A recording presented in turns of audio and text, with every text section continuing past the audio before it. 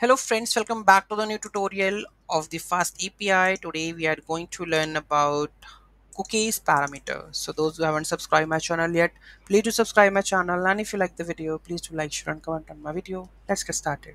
To handle the cookie parameters in the Fast API, you can use the cookie parameter type.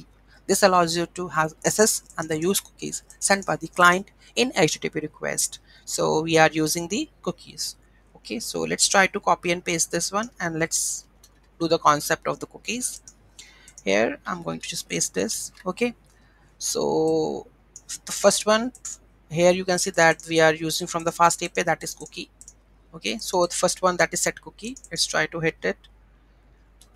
Okay so it automatically do that part. Let's go to the swagger API we load this and set cookie and the get cookie. Let's try to set cookie first. So here you can see that try it out so the no parameter execute. So the cookie has been set successfully. If I go to the browser what will happen? It should be there right? In the cookie should be there okay? If I go to the memory and storage and the cookies. So cookie value is cookie value. Here you can see that we have set this value right? So a cookie key and the cookie value. If I just uh, cookie key is to be like name and here I will put it like uh, Rajnikant okay? So if try to save this and uh, request.cookie that is name I'm going to retrieve and the cookie value it will print okay? Let's try to save this and just hit it again okay with the swagger docs. Reload this. Let's try to set this try it out execute and it is set. Let's go and check.